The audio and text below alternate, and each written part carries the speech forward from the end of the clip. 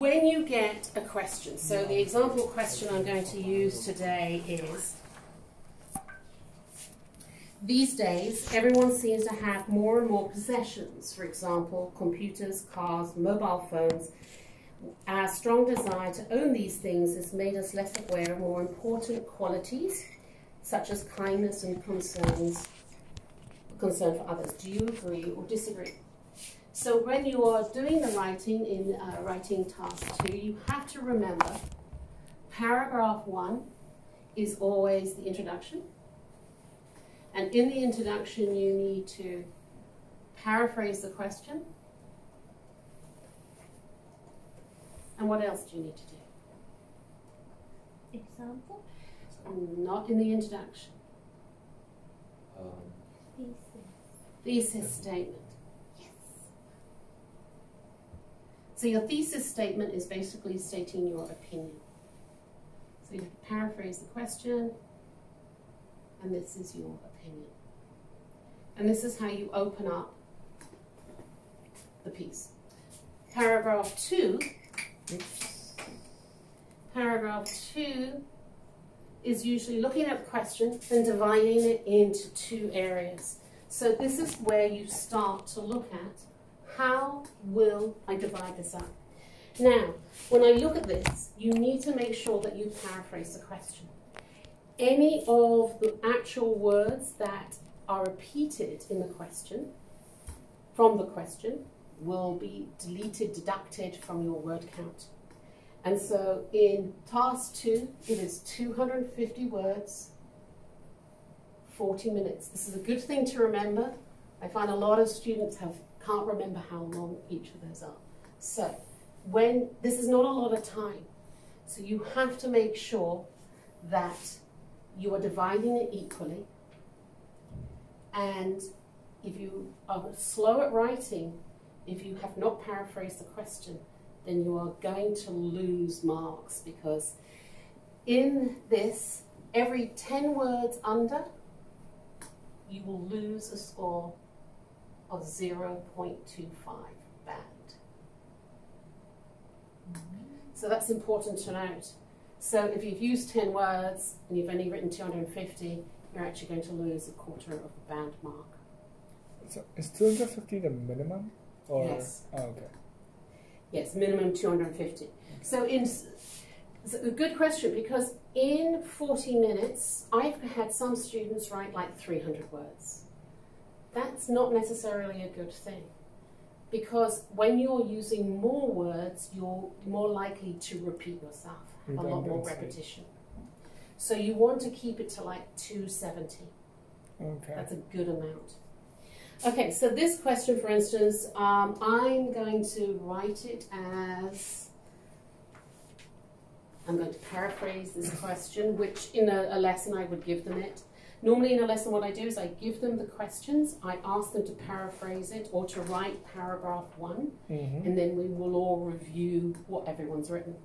So for now I will say, um, in the 21st century, many people are obsessed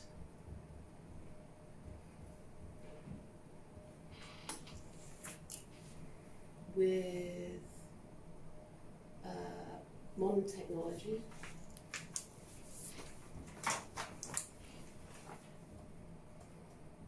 So it's important when you're looking at the question is to how you're referring to this. In this question, so these days everyone seems, so I've changed it to in the 21st century, many people. It says possessions, e.g. computers, cars, mobile phones. That's extremely important because some people put communication devices. Car is not a communication device. So in the 21st century, many people are obsessed with modern technology and wealth.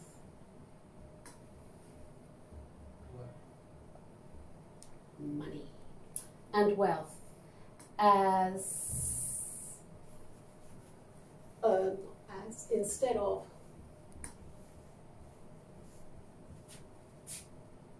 other others' welfare. So I have now combined the two together.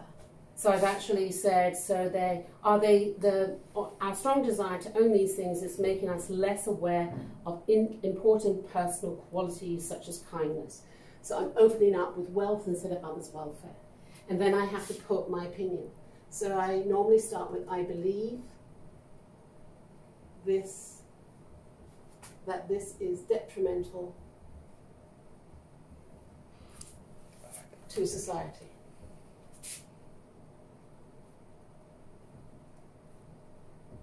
So I've now stated my thesis statement that it's uh, not good for our society for this to happen. So I'm then going to look at part two. Paragraph two is where we come in with the main topic sentences. In this it says, do you agree or disagree? In multiple uh, versions, questions of these, these essays, this will be an agree or um, advantages uh, paragraph. So, and then paragraph three will be the disadvantages or disagree.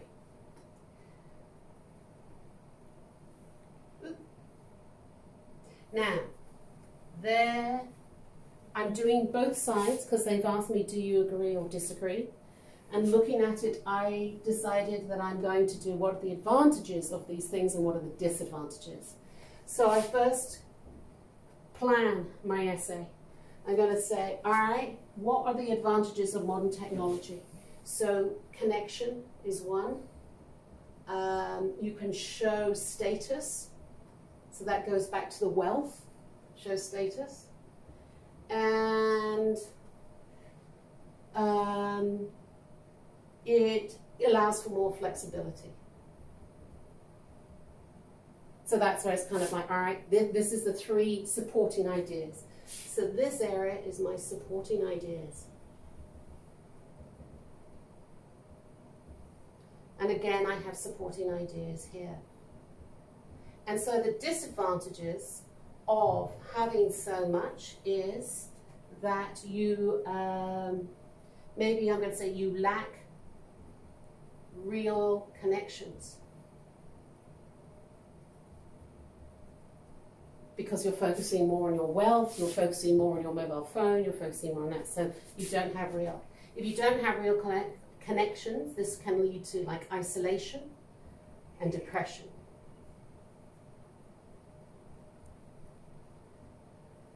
It can also, you have lack of focus in your work, in your real life, because you're actually thinking more about how much money now, the reason I put these together and we're talking about main topic sentences is that as soon as that you've compiled your three supporting ideas, that is when you can write your main topic sentence and not before. Because I have to combine these three into one. A main topic sentence introduces you to a paragraph. It explains what the topic of the paragraph is, what the theme is. So this one I'm going to say, firstly, um, having, writing is very funny on this, having multiple devices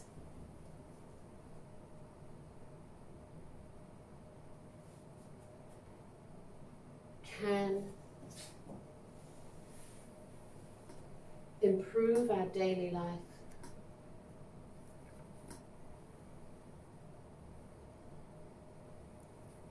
and going to think of a word for status, flexibility. Um, I have to think about that one for a moment. I don't I haven't remembered what to the so having multiple devices can improve our daily life and our social situation. There we go. So that is a topic sentence. Yeah. Are you asking me a question? Is that yeah? I'm writing my main topic sentence. Yes. Yeah. Yes. Well done. Yeah. So this is the main topic sentence for agree.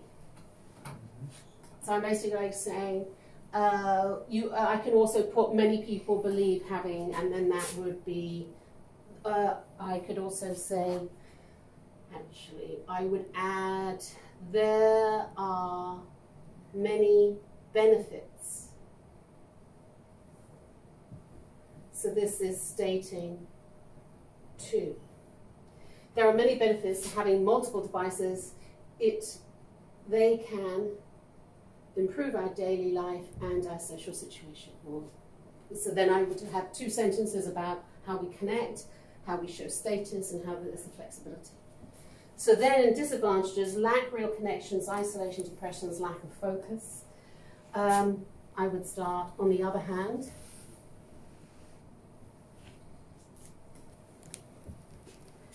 there are, I've used many and multiple, so there are lots. trying to think of different ways of saying the same thing. Lots of drawbacks. Drawbacks, mainly to our mental health. Our mental uh, health in concentrating, concentrating, considering, concentrating, concentrating on our devices.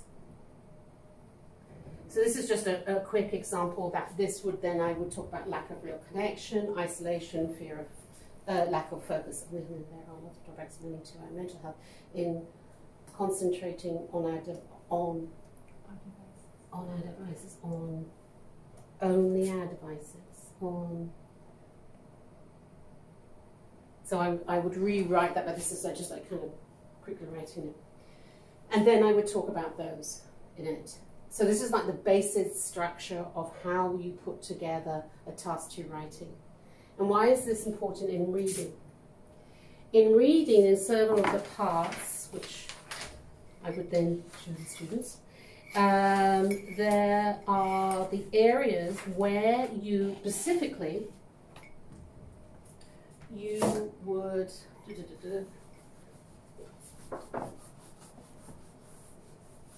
there is one area which I find students have a lot of problems with and that is when they are choosing headings. So that one is, sorry? Yeah, I think that's the difficult part of reading. Yes, choosing is choosing headings for paragraphs. So this is usually around question 15. So choosing headings for paragraphs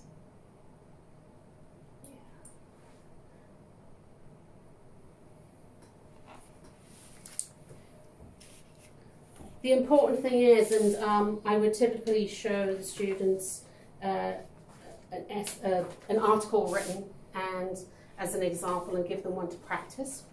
And I would also give them, for instance, this article here.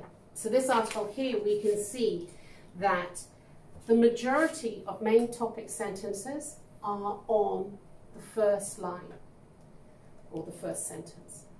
Sometimes they are the last sentence. But the, what you have to do when you are reading these questions is you have to read the questions and highlight the differences or the main areas. What does the question mean? Read the questions, highlight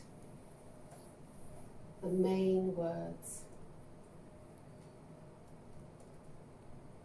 You have to remember that when you are the questions are typically the questions use synonyms.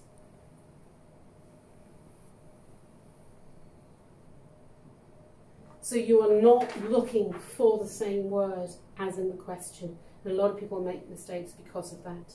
You've got to think of, once you've highlighted the questions, highlighted the main words, think of synonyms for them. And then when you read the actual text, you need to make sure that you understand what is the main topic of each paragraph.